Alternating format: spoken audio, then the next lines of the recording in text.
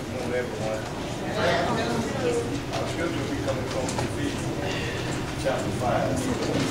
We begin at verse one. Well, well, Ephesians chapter five. We begin at verse one.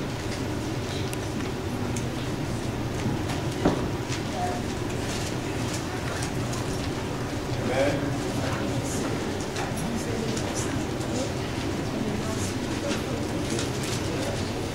Ephesians chapter five, beginning at verse one. Read as follows.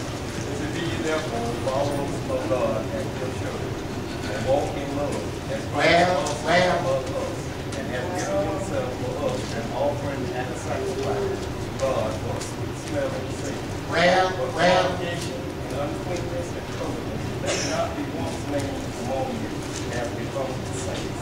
Neither filthiness nor foolish talking or jesting, which are not holy, but rather giving of thanks. For this, for, for this you know, that no homeowner, or uh, no unclean person, no holy man, Well, well. hath an inheritance in the kingdom of Christ and God. Let no man deceive you with vain words, for because of these things cometh the wrath of God. Well, well. Be not ye therefore partakers with them. For you were, you were sometime darkness, but now you light in the Lord.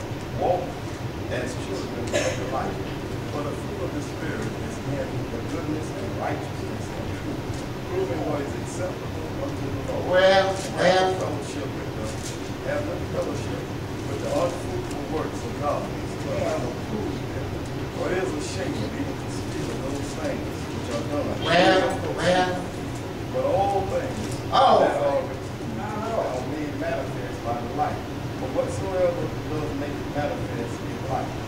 Wherefore he said, Awake, thou and Well. from the dead, and Christ shall give the light.